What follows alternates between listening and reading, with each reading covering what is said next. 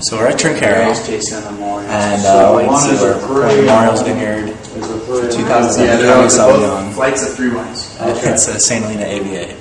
So what we're going to do is we're going to show a quick little trick on how to use soiree in a tasting room, because that's where we are right now, and how to get a nice little One taste. white So wine, glasses. Sauvignon Is there any substitute for that? I can set something out for you. So if we bring it Okay, straight up red and straight back down, that, I'll take we have a little taste. We actually have a little bit, too little taste.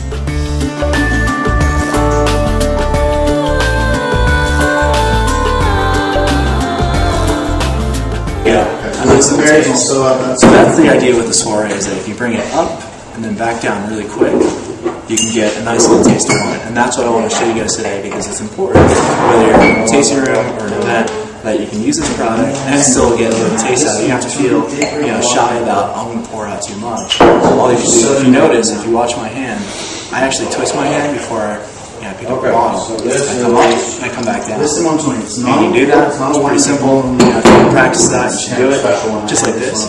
And uh, but anyway, it's a nice way to a simple taste of wine without pouring too much and get the aeration, the benefit of the soiree. So if you have any questions, let me know, but I want to get that out there for all of you so that you can feel confident about using this in this kind of environment.